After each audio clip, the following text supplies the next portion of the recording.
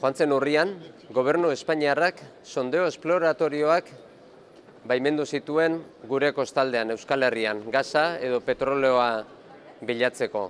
Urdaibairen aurrean baimendu du gainera, amasei edo eta hogeita bi kilometrora itxaz barruan. Jakina da Urdaibai e, naturgune oso garrantzitsua dela UNESCO e, naturgune berezi bezala izendatu zuela eta Europar batasunak berak ere egaztien babesleku nagusi bezala izendatu zuela. Gure ustez, arautegi komunitarioaren aurkako sondeoak dira hoiek, Espainiar gobernuak baimendu dituenak, eta inguru giroarentzat oso arriskutsuak izan daitezke.